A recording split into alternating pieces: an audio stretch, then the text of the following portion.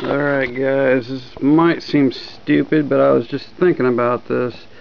What if somebody was to take a bar and go all the way across, like for a closet, call it, call it the UFO CFL Closet Grow, and on one side you had a 68 water Y connector, and on the other side you had a 26 water blue 26 watt 6500 Kelvin 2700 Kelvin there and then on one side you would have the LED UFO like right here and then you'd have the uh, Y connectors to where you could actually put them together or move them out of the way or, or run them together right here. See? So you have three UFOs right here. And then on the other side you'd have to have some sort of joint where you could move the CFLs out of the LED UFO's way or have the LED UFO where it could pop up.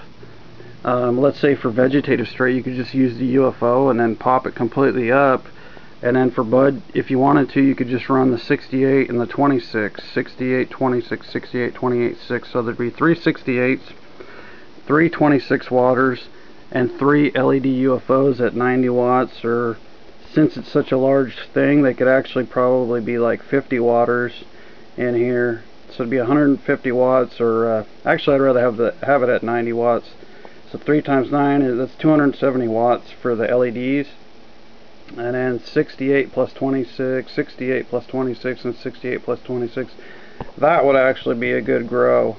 If you had the 68 26 and a UFO per per light and then have these spread out about two feet a piece so you'd have two four six so it would cover what six square feet? I guess that's what it'd be. And call it the UFO CFL closet grow um, for tomatoes and uh, medicinal I don't know. Maybe it's just stupid. Maybe I got a better idea here. We'll just scratch it all in here put a big X over it like that and say this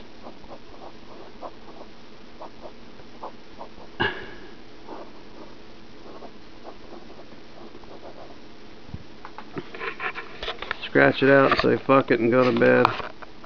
Peace, homies.